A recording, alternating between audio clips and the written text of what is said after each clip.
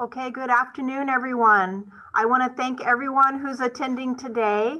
Before we get started too much, I just want to let everybody know that we did get quite a few registrants for today's session.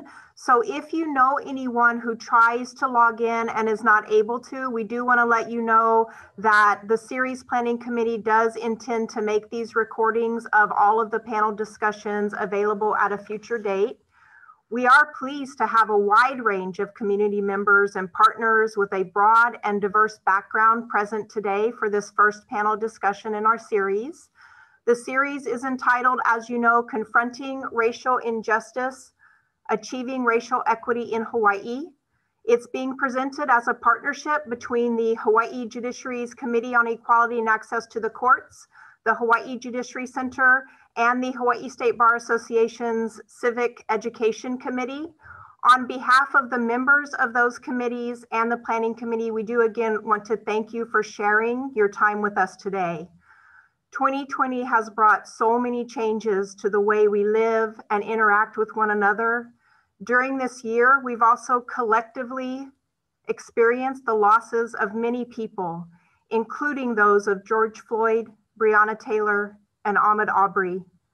Through this five part series, we hope to have in depth conversations about local issues pertaining to race, data and criminal justice, civil rights and access to justice, unconscious bias, diversity, and empowerment.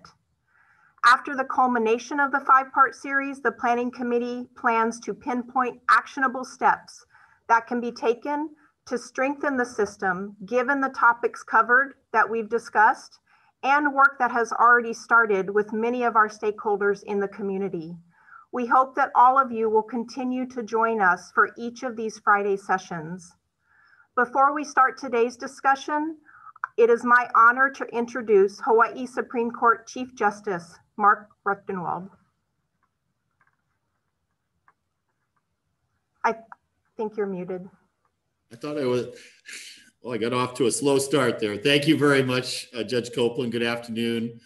Aloha, everyone. I really want to thank uh, the Committee on Equality and Access to the Courts, and in particular, uh, Judge Copeland, my colleague, Justice Sabrina McKenna, uh, Judge Sandra Sims, Willie Bagasol, and Dalen Heather for all their efforts in making this happen. Our Judiciary History Center, uh, the Hawaii State Bar Association Civic Education Committee, and the members of the Planning Committee who worked so hard uh, to organize this important, uh, important series. I want to thank today's distinguished panel for getting us started uh, with this conversation about Black Lives Matter and the Hawaii experience. As uh, uh, Judge Copeland said, we have 500 people who've registered for today's event. And I think that's a testament to both the caliber of this panel and our collective need to confront issues of race and justice head on so as to create a more just society for all. Uh, today, on the birthday of Dr. Martin Luther King Jr., we're, we're reminded that the arc of the moral universe is long, but it bends towards justice. Historically, throughout the United States and in Hawaii, barriers to justice have been built into systems, both knowingly and unknowingly, for generations. We cannot ignore that reality and the direct adverse impact that those barriers may have in our communities such as overrepresentation of Native Hawaiians, African Americans, and others in our prison systems. Like everyone in Hawaii and across the world over the summer, I watched the images of George Floyd's death with horror and dismay. For those of us who work in our justice system, which ascribes to the principle of equal justice for all, his death and the death of countless others has sparked a time of reckoning. The entire judiciary is committed to heeding the call to listen to the voices raised and to take action to confront the deeply rooted and systemic issues that challenge the fair administration of justice. In June of last year, I issued a public statement calling on the legal community to rededicate ourselves to eliminating bias and prejudice here in Hawaii and to continue ongoing efforts to address those systemic issues. Shortly thereafter, I joined my colleagues at the National Conference of Chief Justices to pass a resolution that calls on state courts across the nation to intensify efforts to combat racial prejudice within the justice system.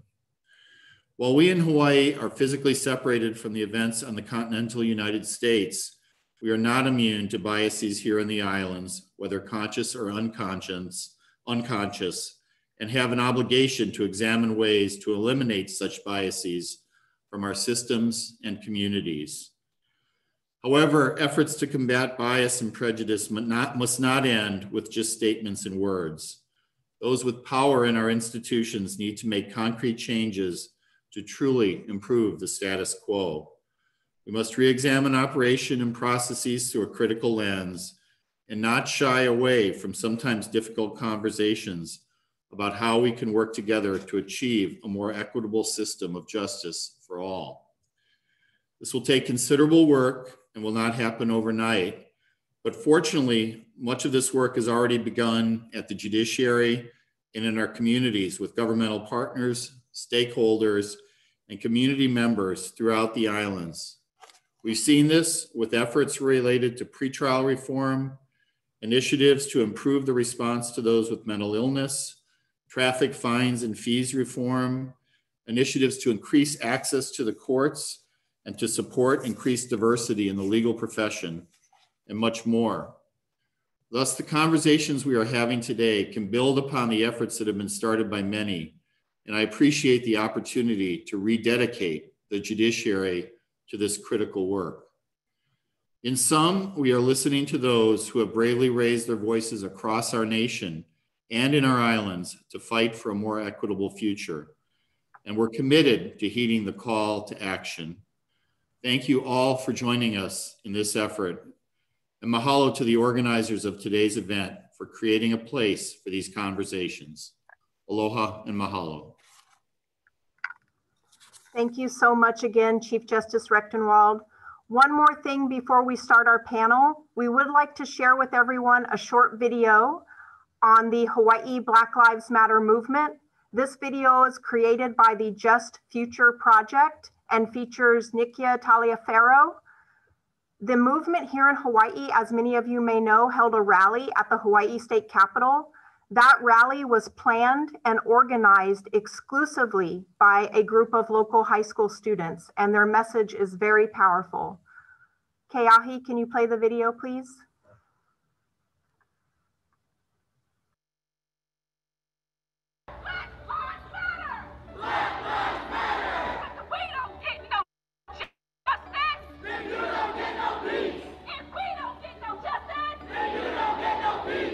When we first decided to go through with planning this march in defense of Black Lives, we did an Instagram poll just trying to predict how many people would actually show up to the march so that we could plan things like water, plan extra signs, we had 500 people say yes, they would show up. When we first actually got to the event, there was the predicted 500 people, but when people started actually speaking in the beginning of our march, there was a much larger crowd. It was probably 5,000 people that had gone there. By the time we had actually completed the march, we had someone else come up to us and was like, there's 10,000 people here. It was so surreal.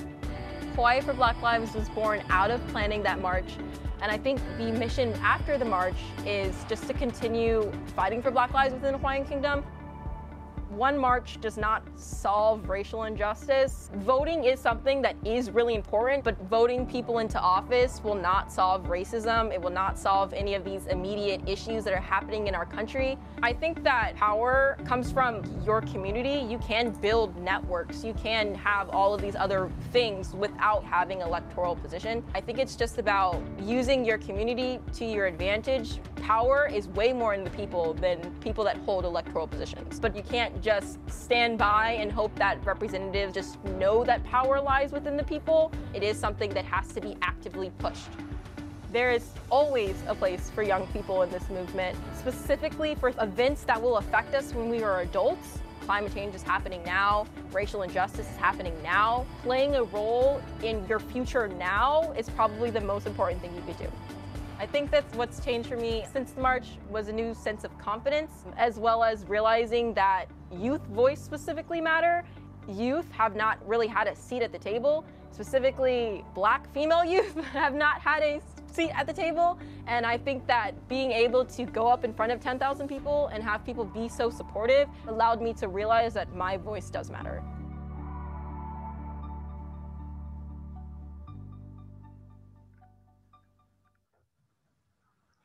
Thank you so much. That is just truly a powerful and important message from some of our Hawaii youth.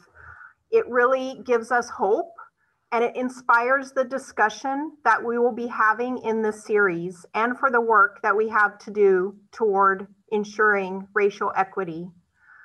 With the video and the statement of Chief Justice Recktenwald in mind, I'd like to introduce our first panel discussion entitled Black Lives Matter and the Hawaii Experience.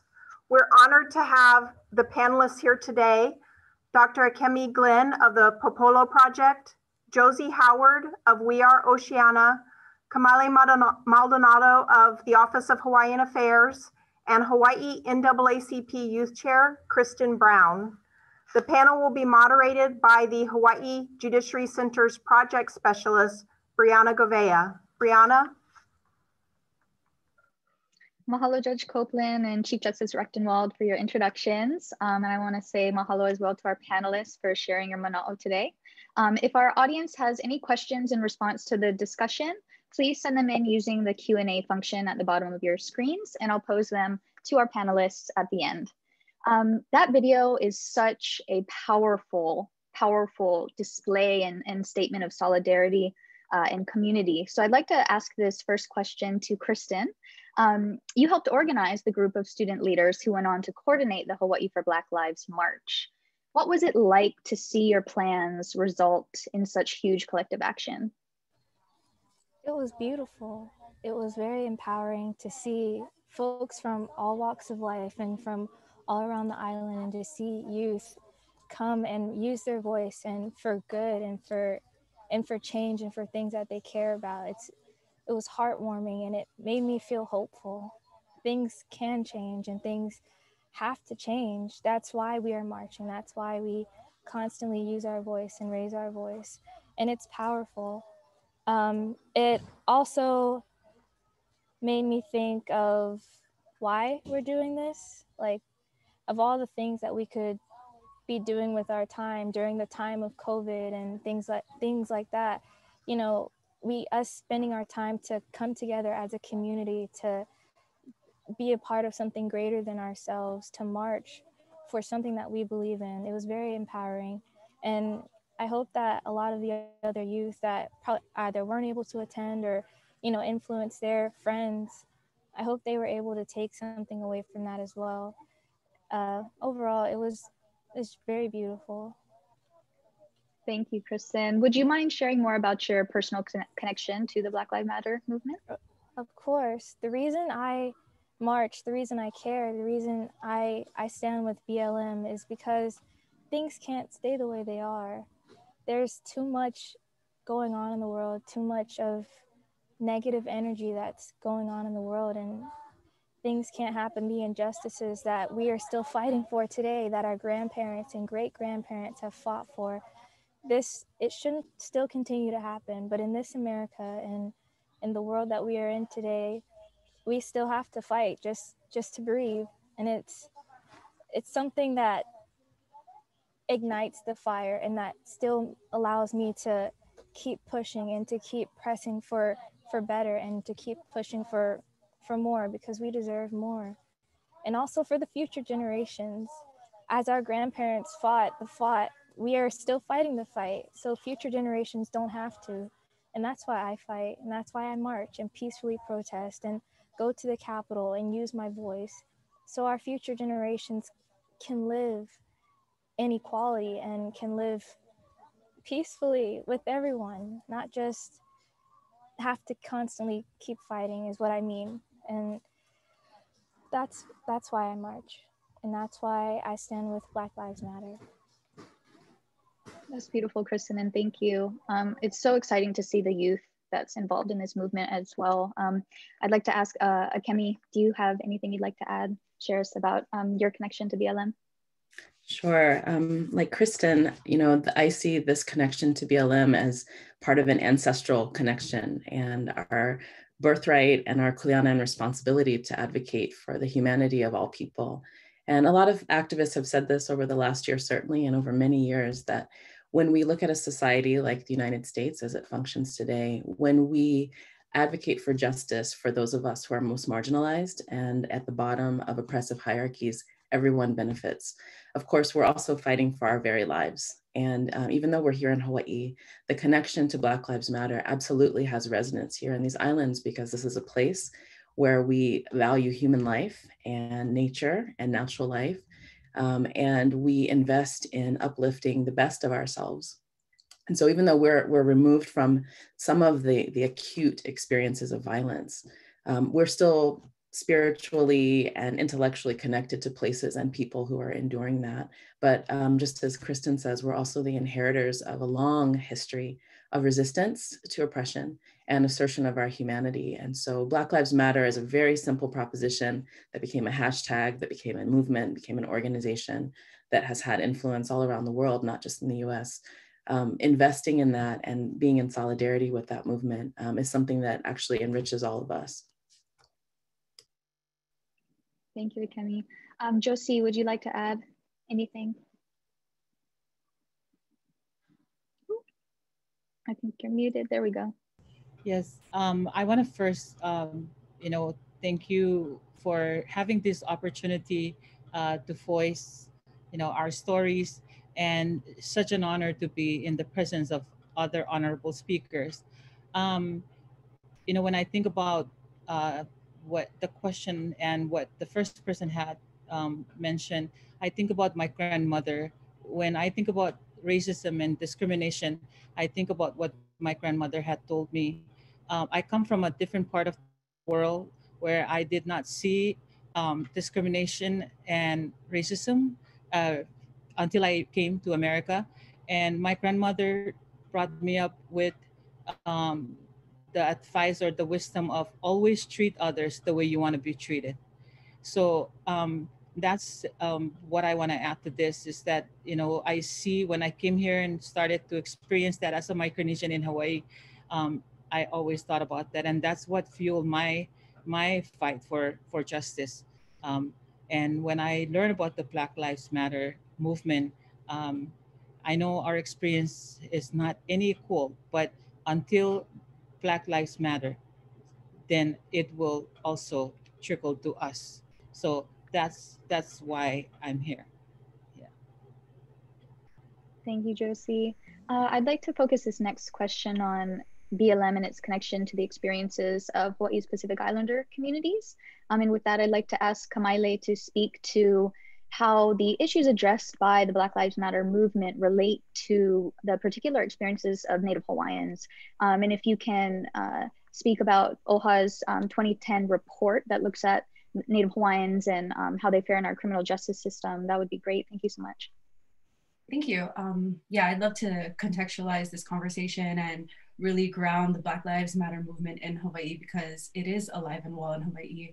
Um, even though Native Hawaiians and Black people have very different relationality to the birth and growth of the country America, we, um, you know, we've had very different experiences at the hands of the colonial power of this country, but you know, we know the same master. Um, ever since the first jails and prisons were built in our islands, they have been filled with Hawaiian bodies. And the earliest criminal code in Hawaii was a code of conduct aimed at assimilating and converting Native Hawaiians uh, to Western ideas of government and Western ideas of religion.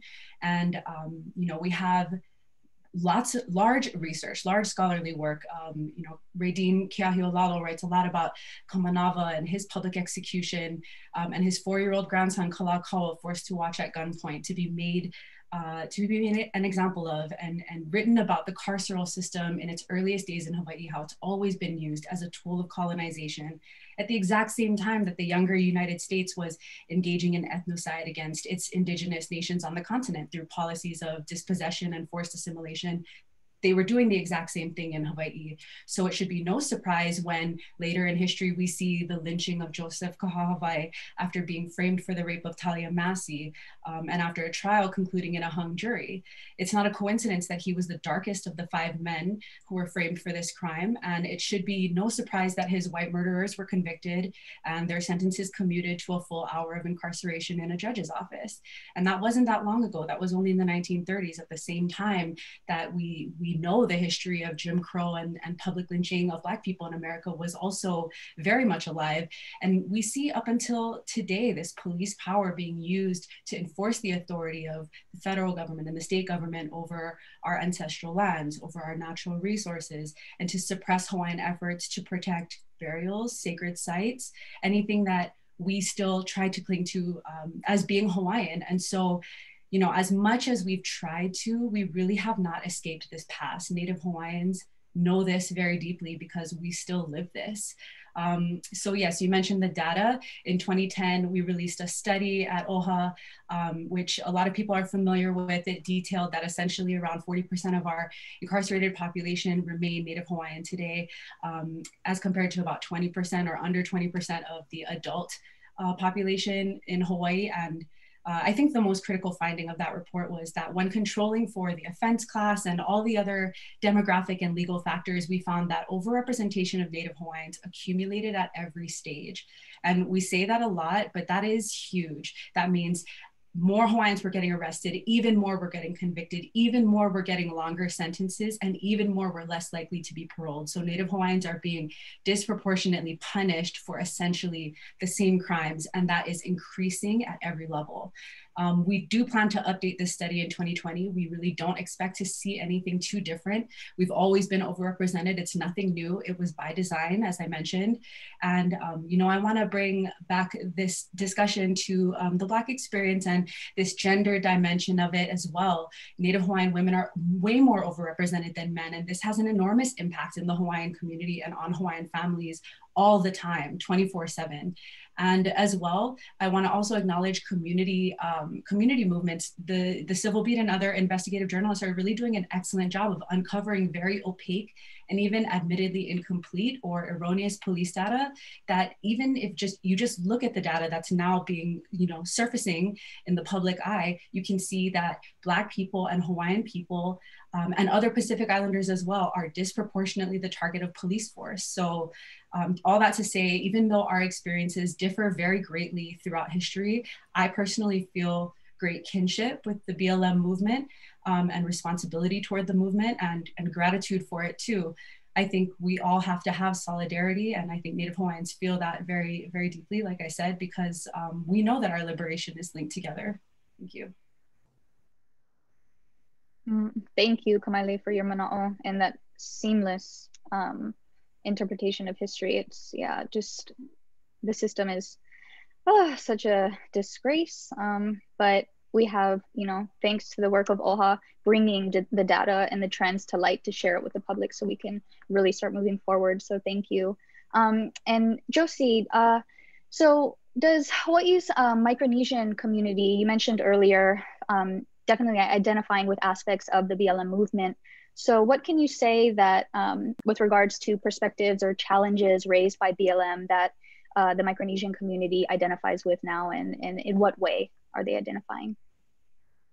Um, well, you know, like what I said about what my grandmother said, my perspective when I come out into the open world is to see people being nice to each other and to see people, other people, like, you know, like straight out uh, flat out making comments that is just so not nice and so um, violent. Um, it's unbelievable for me because I was brought up in a culture uh, that thought about taking care of each other. And so that's why that I think that wisdom of my grandmother, you treat others the way you want to be treated. Um, I don't want to be treated like that. And I, I think when, when I first went to school, what I realized was it wasn't so much the attitude of others toward me, but it was the system that was blocking me and barriers for me to advance myself. That was one. And then the other, and then when I moved uh, to Oahu after graduate school and I started seeing um, attitude toward us as Micronesians. So my early work was to really educate people about um, who we are and and that is okay if we wear the skirt and it's okay if we wear the dress. What's wrong with that? You know to me i think it's about the perspective. It's about what's right from what's wrong. And that is really foundation of goodness and like kristen you know when she started her speech that's what i felt from her it's that goodness in society that we all wanted. And when I see, uh, when I come here and I learn, well, even maybe before I came here, learning about the history of uh, the African American or the Black people in America, it just didn't make sense to me. Like, how could that be so? Um, and especially in a world that is supposedly uh, modernized, democracy, um, and for a foreign country, um, for a citizen of a foreign country that look up to uh, America, United States, it was just, yeah. So definitely our experience in Hawaii, especially the youth's experience for me, I always say that, I always advocate for them because I'm an adult and I can handle it. They can't handle it. And I've seen how it had affected them. Uh, we have high rate of um, dropouts in high school. We have high rates of juvenile in the system. I mean, that speaks volume to our experience. So that's why I can relate very closely to that. Thank you, Josie, and thank you to your point about your own experience feeling that system kind of bearing down on you. And um, I, this next question, um, Chief Justice Recktenwald in the beginning quoted Martin Luther King Jr. his his famous quote, "The arc of the moral universe is long, but it bends towards justice." Progress does happen, but it's slow, it's gradual, often slower than we want, and it's because we're fighting against those systems, right, that have been ingrained since the foundation of America. Um, and so, with that, thinking about how BLM issues play out in Hawaii, I wanted to ask uh, Akiemi um, your opinion about where Hawaii falls on MLK Jr.'s uh, moral arc of the universe, and what does progress look like? What what will the future look like? Yeah, thanks for that question. You know that that quotation from Martin Luther King Jr. I think um, circulates quite a lot because it gives us hope and it tells us that though things seem difficult right now, somewhere down the line there will be justice that we'll reach. Um, personally, I think that there there might be other ways for us to unpack that quotation. Um, one of the ideas that I think gets evoked when we talk about the bend of the the moral arc of the universe is that there's an idea of linearity, that it's linear. And I think um, what we see here in Hawaii and no less in the United States and around the world is that justice actually looks kind of more fractal. Things don't necessarily go in a single line. So as we've seen, um, there are huge leaps forward, like getting um, voting rights. And then there are huge leaps backwards and other things that pop up. So I would I would try to make a little bit of a problem out of this idea of this linear moral arc that's that's taking us towards justice, and instead think of it as an exhortation for us to continue to fight and be vigilant for the ways that our freedoms and our humanity are eroded in different times that said, um, you know, Hawaii is a really interesting place, especially in the context of um, American ideas of race and progress. Uh, there's some things about Hawaii that are light years and, and so such a far distance ahead of where the United States has ever been um, since it began its kind of project of colonial domination of the land and enslavement of people of African descent in particular those things didn't happen in the same way here in Hawaii. There was not enslavement, for example, here. And so um, we are already in a, in a better starting position in comparison to um, some of the things that Dr. King was talking about. At the same time, there is an American presence here and Euro-American ideas about race and the humanity of people um, certainly have shown up here. And as Kamaile mentioned, just giving us that little snapshot, um, thinking about things like the aftermath of the Massie trial and how that was a clear indication of American ideas about race, about the phenotype of a perpetrator or someone exhibiting criminality in their very body. Um, those are things that we still have to reckon with here. And um, though they're different, they're still present and it's still worthwhile for us to unpack them. In terms of anti-Black racism, um, Hawaii is not exempt from this. This is a place where, um, you know, the, the colonial history of Hawaii, the experience of um, you know even American presence here was also bound up in the United States history of anti-blackness, enslavement, dispossession of indigenous people. So of course we're going to see um, we're going to see factors that are related that in our daily lives. Um, here in Hawaii in the 21st century, there's violence against Black people. We mentioned uh, the Honolulu Police Department reporting about use of force. Um, we're overrepresented in those data for our small numbers. Um, there's also extrajudicial violence against Black people in our community. Um, in my position at the Popolo Project, we're a community organization.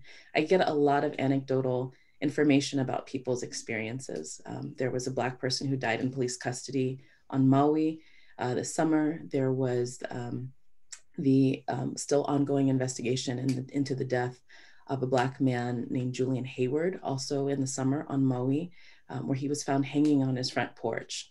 And the initial response to his death was that it was a suicide. And for many of us who not only have grown up with the imagery of lynching, um, but also the intergenerational trauma of that, um, just that spectacle of his death was something that caused us to ask more questions. And as I understand that, that investigation is ongoing. But the fact that those things can happen in Hawaii, along with um, you know the history and, and recent situations of uh, workers being uh, racially harassed in places like uh, the Queen's Hospital and Hawaiian Airlines, we know that Hawaii is not exempt.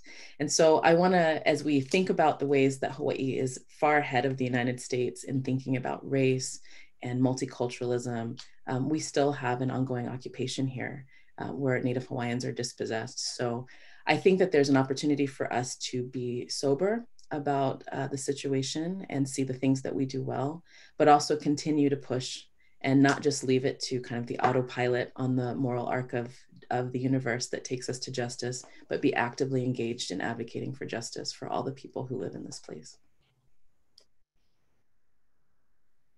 Thank you, Kemi. Um, Kristen, what are your ideas about the roles and obligations of civil society's leaders in raising the power of marginalized communities? Society's leaders have a huge responsibility when it comes to their communities and the people that elected them into office. That's they or elected into office because they saw the people, their community saw potential in them and they saw what needed to happen in order for their community to succeed and to be prosperous and to, you know, come out better. And that is something that is not taken lightly and something that I don't want to be too frank or too blunt, but a lot of the communities, a lot of the folks in power and in office around the nation at the moment, they're they're trying to do better and under the circumstances that they're under, but I think still their communities are still suffering and that's something that you know is is also generational and is also something that is a work in progress. It will not happen overnight, as we know. But in order for the communities to succeed and for their and for their community electives to be prosperous, they have to actually go into the community and actually ask the questions and and interact with them. It's one thing to sit on your high horse, and it's another thing to actually get dirty and do the work and interact with the folks that you're the folks that elected you into office. And that's something that I am very passionate about. I very much feel there are not a lot of people that walk the walk and talk the talk they can they can do one or the other. They can't they can't do both at the same time. They're not good at multitasking if i'm being very blunt. Um, and in in listening to your community that's how you grow because how are you supposed to fix something you don't know is broken?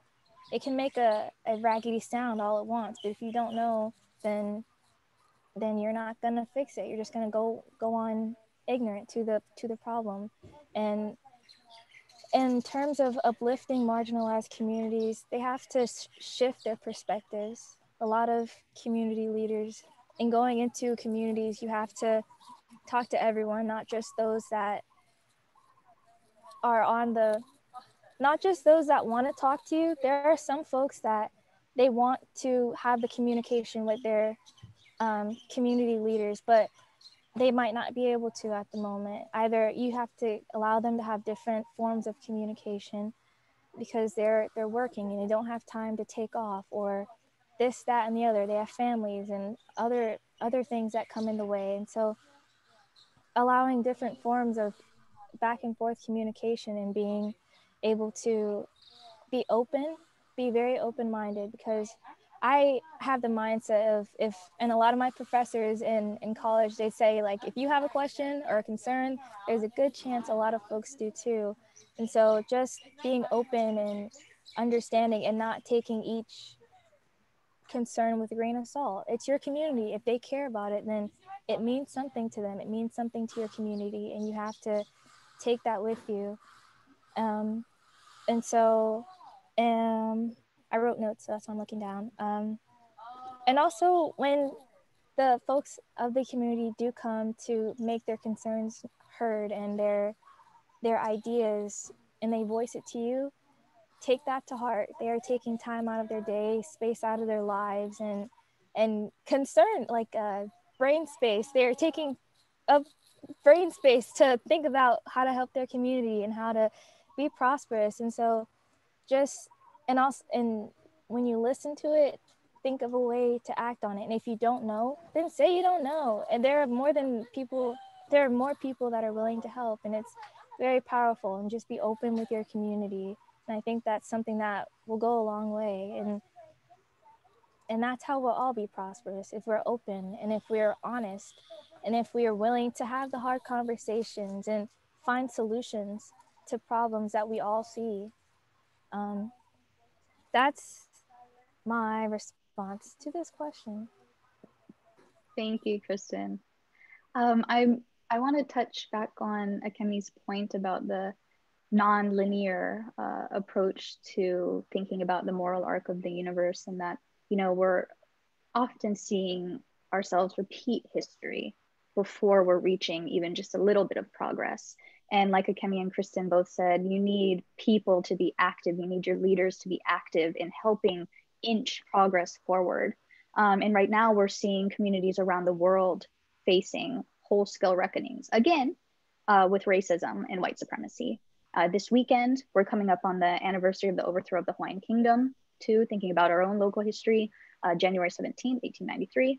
Um, and I wanted to ask Akiemi, what are the similarities or differences that you see between um, today's BLM movement and its sub-movements as well, Indigenous Lives Matter, to the US civil rights and Hawaii, Hawaiian Renaissance movements of the 60s and 70s?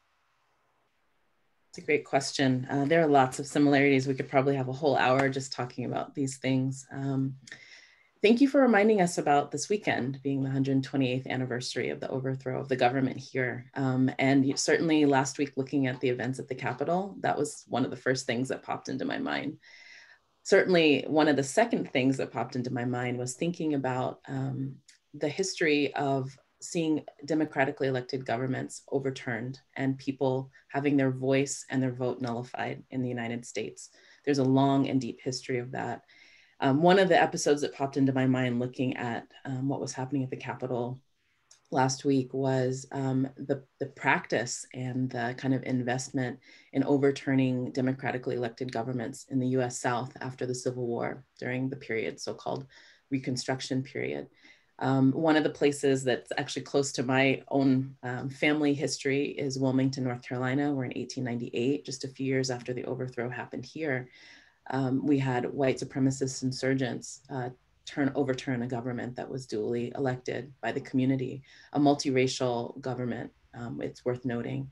Um, they ransacked the place and, and did a lot of damage, but also crippled the community so that they have not been able to really bounce back even in 2021 we're still seeing the effects of what happened in wilmington in 1898 just as we're still seeing the effects here in hawaii of what happened when the government was overthrown so for me the the intertwining of those histories and the fact that people who were involved in white supremacist movements in the late 19th century were emboldened by seeing what has happened here in hawaii um, were encouraged and, and backed it up. I think it's important for people to know that there were um, not just kind of casual white supremacists involved in the events around the overthrow, but people who are very committed to that.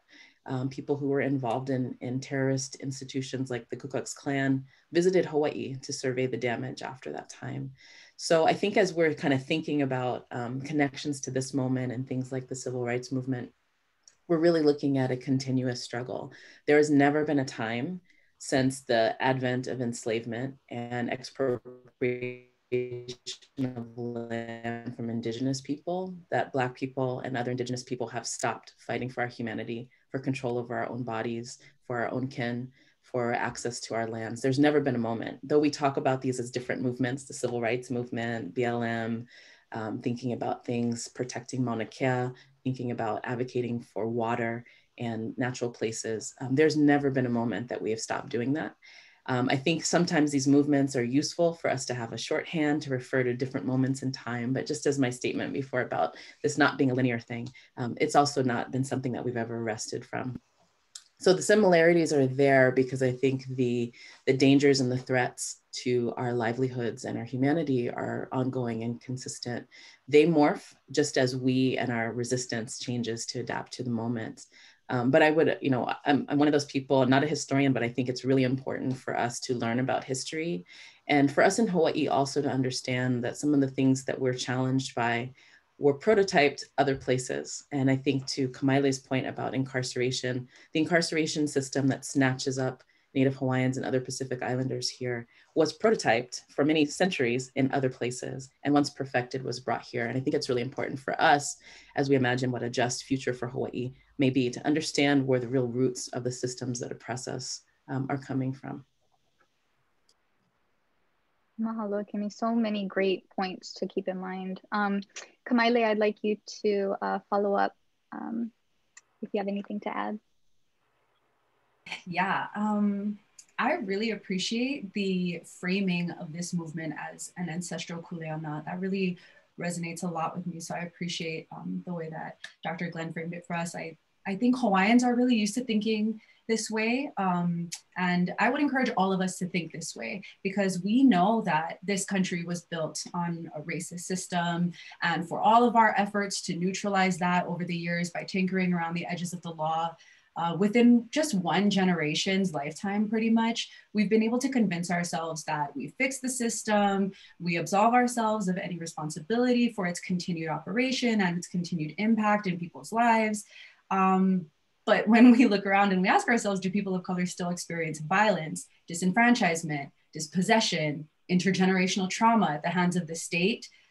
Obviously, the answer to that is yes. And if um, you know, if the BLM movement can teach us one thing, I hope that it teaches us to stop denying the lived experiences of other people and to really just try to listen and and and hear really and appreciate and understand. So so yes we do experience these things. We talk about it all the time. And if it wasn't true the data would not prove it out. We have you know, this idea or this concept that Hawaii is this multicultural paradise and we're post racial and we're so past all of that. Um, and we have, you know, a, a, general accepted idea, maybe among a lot of our uh, policymakers, that uh, we don't really have a race problem. And we hear them say as much all the time. And, and I just think that that kind of statement, that that broad statement, is just so damaging and it's so hurtful to the people who know deeply and personally that that is not true. Um, and so to deny that there's a racial dimension in community policing, police use of force, implicit bias in in the interaction with legal systems, um, criminalization of poverty at the legislative levels, is to participate in the erasure of these voices and the stories of our ancestors and of ourselves from the history of this place. It's to be complicit in the ongoing history of colonization that is still unfolding in Hawaii. We, our generation, is the living generation. We are writing the current chapter.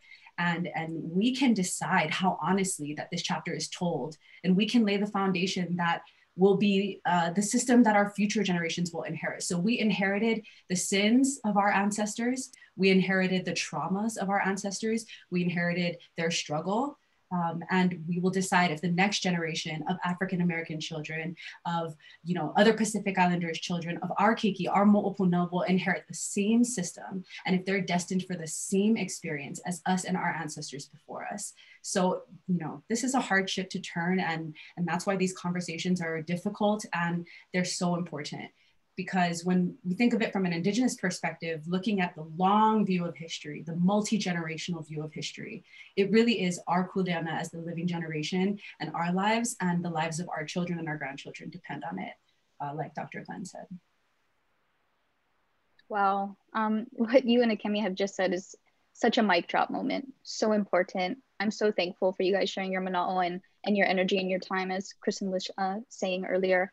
Um, we're moving on to our final, our final questions before we get to the live Q&A. Um, I'd like to turn this one to Kristen. And of course, if anyone else wants to add anything, um, please uh, feel free to do so.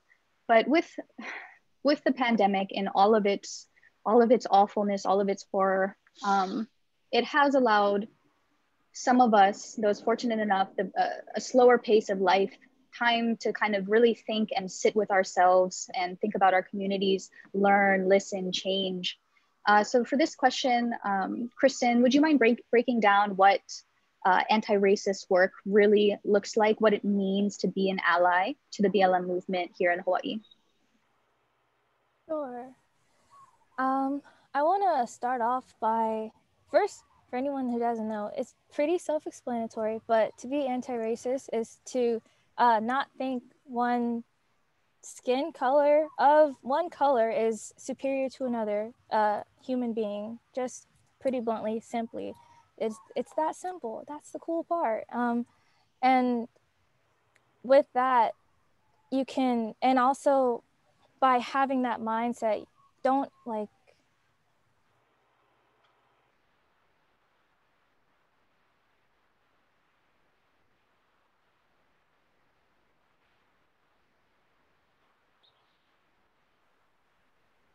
Oh, I think Kristen's frozen. Oh no. Would anyone like to add anything while we have um, a minute? Hopefully she can, her connection gets better. It's America that we live in. Oh, there we go. Kristen, we lost you for a second. I apologize. I lost you. I'm so sorry. Sorry. Would you mind mind repeating what I'm sure you said so beautifully um, again for our audience? Sure, no worries. Um, anti-racism is not believing that one skin color is superior to another human. Um, and, and, and to be an ally of the BLM movement is to understand and to acknowledge that at this moment, we are not equal. We are very much divided. And, and as Kamaile said, to not disregard one's experiences because of their, because we live in Hawaii, for example, because we live here, you cannot say that there is not racial injustice still here. There is, and you cannot dis- discredit my my experience in saying that. And also to do anti-racism work is to call people out very bluntly, to call people out in a professional way and in a way that I wouldn't say damages their ego, but if that's what has to happen, that's what has to happen. In a way that I uh, makes them see and allows them to realize their actions and that what they said or what they asked or the way that they spoke is not okay and that they need to change that because in this day and age we are not going to take being disrespected because of our skin color if, you're if you're ignorant to something it is our duty it is our it is our kuleana to to educate you and to make sure that you move better and that and that you can teach those who are also ignorant in the future it's not always going to be our duty to teach people, but for the time being, in order to progress, we all, we have to put our mindset aside and put our um, pride aside and help those that that are in need. And also in BLM, Black Lives Matter is not saying that other lives do not matter. It is saying that until Black Lives Matter, we like we are not equal. Until Black Lives Matter, all lives cannot matter. And that goes for all the suppressed minorities and all those that have to fight extra and off and have to do more just to make their voices heard. To do anti-racism work is to empower those and to give them a space, to give people of color a space at the table especially if they're ready for it and if they are if they if they have worked for it to give them a space to be a part and to grow and to push themselves and then to uplift others as they are growing. Um, because there are so many and and there are so many things that need to change and we are all not equal, especially now. Especially what happened at the Capitol last week. I personally, as an 18 year old, I will be 19 on January 23rd. I was very frightened and very and very upset to see what happened at the Capitol. It's like it's 2021. How are you this prideful and this arrogant and this uh, to but what I would like to end with is that until Black Lives Matter, all of us cannot matter. And that is not to put down anyone or any thing. It is a fact, it is a statement. And I stick with that statement. And to be anti racist is to acknowledge that, especially today, is to acknowledge that. And it's not hard, but once you acknowledge it and you are no longer ignorant, you have to learn, you have to grow. And so, and there's so much more to be done, and there's so much more action that needs to be taken and marching that needs to happen and peaceful protesting and talks with our legislature and talks with the people that are in charge to make change happen. That way we can all attempt to be equal, attempt to grow, attempt to live together in unity because right now we are so divided, it's crazy. It's like rain and sun. It is so crazy. It's like, well, we all know the opposites in the world, but that's what I would like to end this on. And we have to uplift those that want to be uplifted and that are trying and that are fighting. And that's what I would like to end with. Mahalo, Kristen. Um, Josie, do, yeah, please. Yeah, I think to align with the movement, just like Kristen said, uh, it, it needs to start with us. Each of us have biases, and that's something that, you know, uh, we all need to work on. Um, and if we can start with that, like a ripple effect, uh, then we can. And then the second thing is data. For me, for the Micronesian community, especially during COVID, uh, we were the most impacted. It was so important for us to disaggregate data. Um, I feel like the lack of data on certain groups is a form of racism, and we need to work on that. So there's the part where we work on us as individuals, and then there's the systemic part that needs to uh, be corrected, and it should start with data. Um, and just to end that, um, I want to promote collaboration through diversity. It is so important to uh, honor the diversity within Hawaii and that the diversity brings the strength and um, their strength and make experience in Hawaii more colorful and meaningful um, based on the strength of each community that comes to be part of Hawaii. Thank you, Josie. That point about data is so, so great. And thank you for tying that in here at the end. Um, Kamaile, do you have anything you'd like to add? Um, is this a, a question about the forward thinking um, yes, yes. Any and any resources um, for allies? Yes, uh, yes. So I wanted to bring back something that um, Dr. Glenn said earlier that about BLM kind of like transcending our experience. You know, it really has inspired a global movement. We saw an enormous, historic amount of outcry all over the world, people essentially seeing the same things in their government or seeing what was happening with ours and, and having, you know, so much to say about that and so much affiliation or kinship with that feeling and that experience. And it's also inspired and created a new dialogue um, and empowered Indigenous people all over the world to stand against their colonial nation states to say Native lives matter. And we've seen enormous movements in Aotearoa, Australia, Canada, Africa. And we can learn a lot from the international Indigenous models of truth and reconciliation, which actually originated um, in South Africa.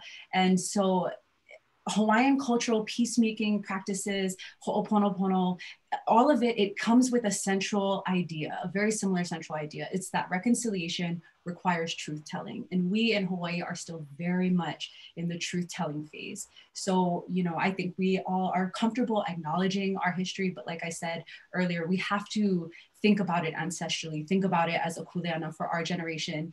Um, and it's incumbent upon each and every one of us, Brieanah, you, me, every person watching this, to think and do the deep work in themselves, to hold up a mirror to themselves and to say, um, you know what what is it? What is there anything that i can do better? Is there anything that i can do more? Is there anything that i shouldn't be doing to see racism in ourselves and in other people and to call it racism when we see it and to be fearless and tireless about that?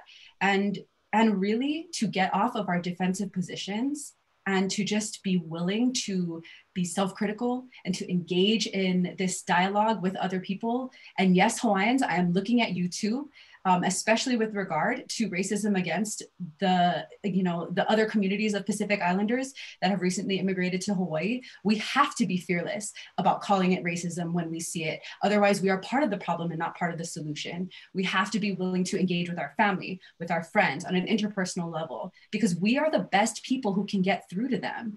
And we have to ask ourselves, how can I make a constructive contribution to this movement? Um, it's going to be different. The answer is going to be very different for every one of us, but we all have to explore our own privilege and our own positions of power and think about how we can use those to help foster an environment where truth can be told. And then we can only then, when truth is really told and universally heard and accepted, can we really move beyond that, moving beyond the dialogue to action, to policy, to change that our next generation, as Kristen is telling us, wants to see and uh, you know toward meaningful justice toward all of for all of us Thank you, Kamaile. Um, Akiemi, your organization has put together a really great, uh, really informative um, packet of resources uh, called the Pōpolo Syllabus. Would you mind telling us a little bit about that? Sure. Um, you can find the Pōpolo syllabus on our website, thepopoloproject.org. And it's a growing and kind of crowdsourced uh, resource for our community. Um, the focus of the Pōpolo syllabus is really to amass resources and information about Black experience here in Hawaii and across the Pacific. So um, certainly also even including the experiences of Indigenous people in the Western Pacific who are considered Black in so-called Melanesia. Um, we also are very interested in getting people to kind of engage with ideas about race. Um, a number of, of, folks have said, you know, we refer to this, this mythology of Hawaii as a racial paradise. And I think um, just as Kamaile has mentioned, we need to have a, a, a, clear reckoning about what we're dealing with, what has happened. We need to have the data, as Josie has said. Um, and so some of those resources are available on our website, specifically focused on our Black community um, here in Hawaii and across the Pacific. Um, we also, as an organization, engage in conversations and trainings and trying to orient individuals, agencies, and organizations to the history of race in Hawaii. And we do a course called Understanding uh, Race and Belonging in Hawaii. Um, that tries to kind of walk back. Um, I'm, a, I'm a researcher and data scientist myself, so I love to sit in the data and look at what's actually happening. Some of these um, pieces of data that we have need to be disaggregated. And, and when they are disaggregated, they start to tell a different story. Um, one of the things that comes up a lot is that there's a category of mixed race here in Hawaii, which anybody could be in. I could be in it. Um, the reality, though, is that even though I'm a person of um, a diverse genealogy, I'm Black and I'm racialized as a Black person. And some of those details get lost, as Josie said. So um, that course is something that we do and we offer to the community throughout the year. And um, we're happy to be part of other conversations specifically around the data disaggregation stuff. So I'd invite folks to check out our website if you're interested in some of those resources. Mahalo, Akiemi. Um, before we move to our live Q&A, I just really want to take the time to say thank you. Thank you so much for your panel, for the panelists. Thank you so much for sharing your energy and your time. This work is exhausting um, but it's important. Um, I'm very, very grateful and honored to be here to talk to you today, and thank you for all of our attendees.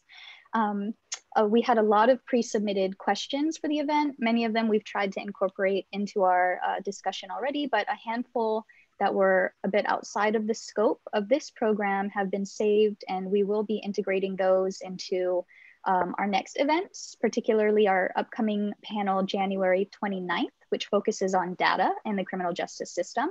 So we'll um, be expanding upon some of the themes we've talked about today. Uh, please continue to email um, your questions, but for now, let's turn to our audience questions. Um, I'm gonna look at some of the pre-submitted ones first, and then I'll move to our Q&A chat box. So let's see.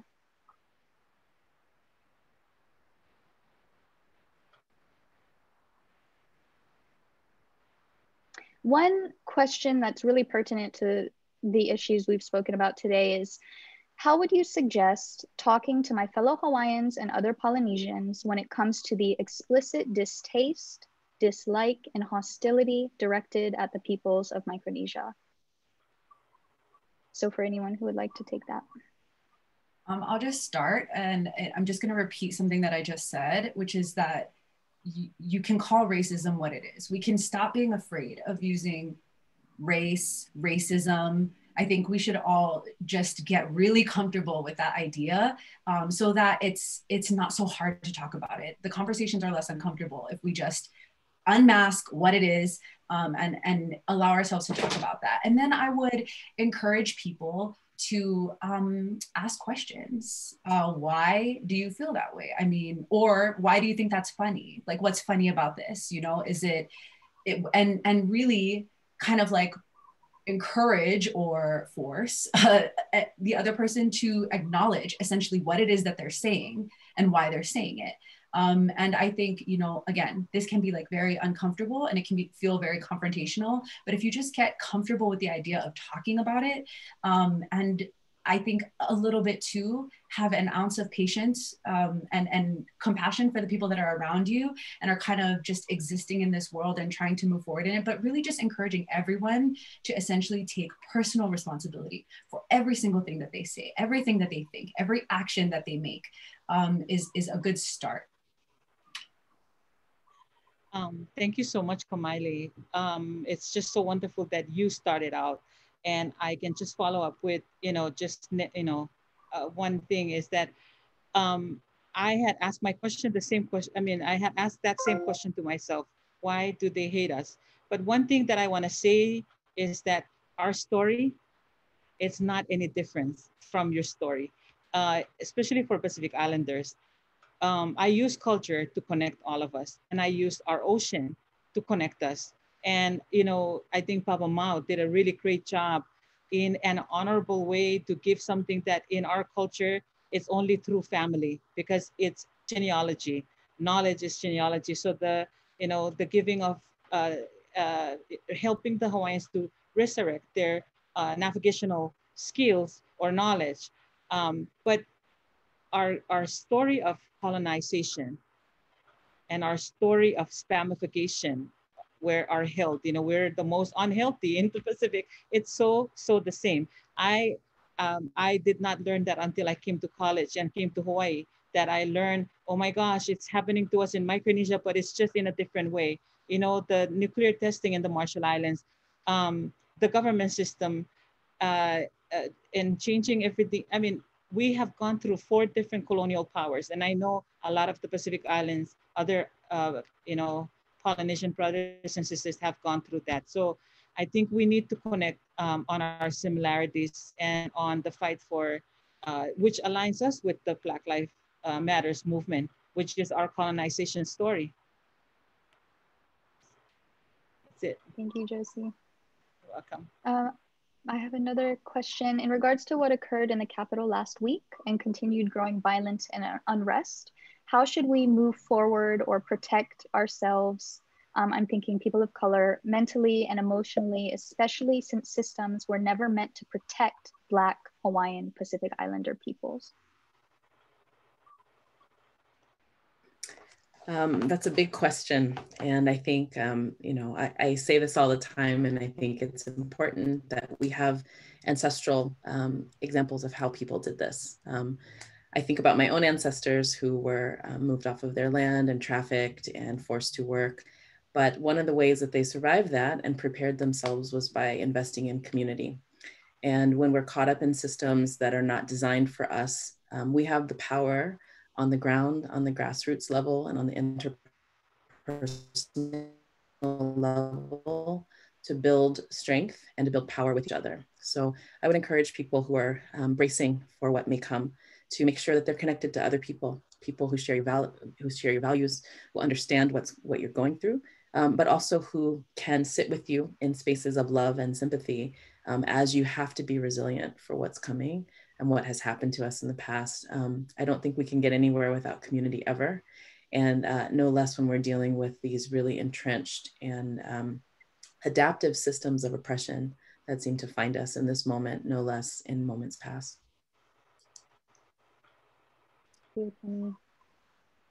Um, some questions that are coming up relate to thinking about the way our system of justice um, is organized and, and, and works. There's one question as noted in OHA's 2010 report, Native Hawaiians bear a disproportionate burden of the state's punitive response to drug use in particular. Um, please discuss the need to reorient public resources away from enforcement and towards non-punitive behavioral health interventions.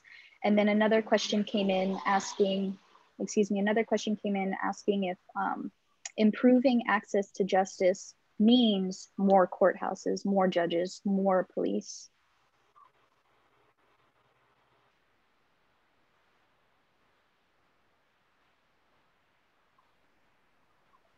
Um, I don't want to dominate the conversation, but I'll just start with responding that um, this kind of um, question about reallocating resources and kind of rethinking how we want to approach um, problems that plague our communities um, is, is not a new one. I mean, we have reports upon reports upon scholarship and years and really generations of information out there to support the idea, essential idea that uh, investing into communities and community-based interventions, community-based, um, community-oriented, and not only community-oriented, I mean community developed ideas and, and, and, and interventions that are directed toward aiding the community that are developed in the community are the best and most um, effective ways of kind of dealing with these things. So we are currently dealing with things in the most expensive way, and that's what we talk about all the time with the criminal justice system. Um, so I guess I have kind of like three main policy ideas, recommendations for um, people, uh, the, the powerful people in the room who are listening to this and, and want to think about directions that we can move in ways that we can change the system. And I am so excited and open to hear what the other uh, panelists have to say about this as well. But one, first and foremost for us, Native Hawaiians especially, um, I would like to see the state kind of start self-criticizing and, and thinking about ways that it can help to decolonize its approach to corrections to Native Hawaiians specifically, and to support Native Hawaiian self-determination. That's really, um, at the end of the day, what Indigenous people want is the ability to, to be self-determining and, and to deal with our own people the way that we think is best. And so, you know, that is in, in probably in the judiciary sense, to look toward helping the Native Hawaiian community or maybe even taking hands off with the Native Hawaiian community to support the formation of culturally based um, alternatives to incarceration or to involvement in the criminal justice system altogether. Secondly, reforming police uh, but especially at least you know kind of in the initial phases thinking about reforming um, community oversight and giving a genuine and real mechanism to provide oversight to all of our police um, in every county. And lastly, um, and one of my big, um, you know, pushes, and I think um, we have a few new legislators, freshman legislators who've been talking about sentencing reform. This is something that we've been talking about for years. Obviously, we have the report that's that you know focuses on um, the drug enforcement and the, the particularly punitive treatment toward Native Hawaiians um, with regard to specifically drug related offenses. But I, I think that, you know, that's, it's, it would be misguided to think that that's where uh, the work stops and, and that we could just, you know, defelonize this and kind of like restructure that. We need a top to down, uh, top to bottom sentence reform um, idea because what we have right now is really absolutely not working. And we can see that report, report, report, time and time again, every task force, every commission coming back and saying the same exact thing, which is that the whole system needs to change. And, um, and the piecemeal things that we've been doing in the past are not gonna, they're not gonna work. Thank you, Kamaile. Does anyone have anything to add? Otherwise, I think I'll hand it over to Judge Copeland to give the final remarks. Maybe just a little bit. I think Kamaile, yeah. Kamaile did a really good job in explaining that. And I just wanted to, you know, bring it to a closing that, yeah, maybe it's time to start looking at uh, indigenous approaches that had worked. Uh, it's really important that we treat the person, but not the system. Um, because when we treat the person, that's when change happens. Um, and the system has to uh, be for the people. And if the system is not for the people because it doesn't accommodate the person's need, then there's, uh, you know, and a lot of our Pacific community, we still, like Kamaile had brought out the Ho'oponopono process. When I think about the insurrection at the Capitol, the only way to solve that today is to come together and truly have a, a real, true apology to the different group. Um, if we criminalize, I mean, not criminalize, but when we criminalize that, uh, we're not fully solving the problem. It still stay on. Our Pacific Way is a win-win situation where the person who did the wrong will and the person who was the victim come together and they do the apology, and uh, it's forever. And that's the system that you know works for us. So I think it's time to start looking at those kind of perspectives, like uh, Kristen said, start looking at other options, yeah, alternatives. Thank you. Thank you. Okay, thank you again, everyone. I do want to give just sincere thanks to the panelists and the moderator. This is such an important discussion, and this panel is only the beginning of the communications and conversations that we will be having in order to work on this issue and really implement some actionable changes that you know, it's very clear that we need to do.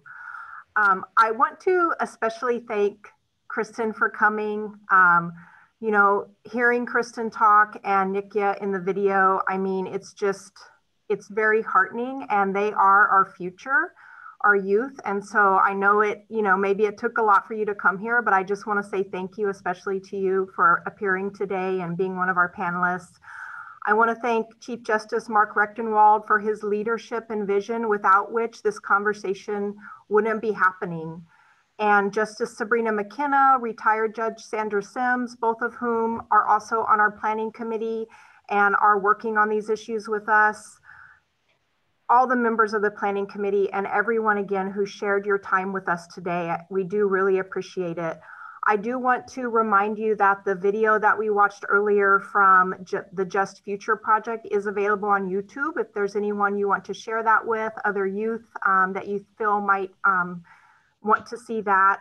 And I'll just ask everyone if you would please join us for our other Friday sessions. Um, as Brieanah indicated, our next session is going to be on Friday, January 29th from noon to one, and that is on data in the criminal justice system, an issue that came up today. So we'll be taking a more in-depth look at that issue at that panel discussion.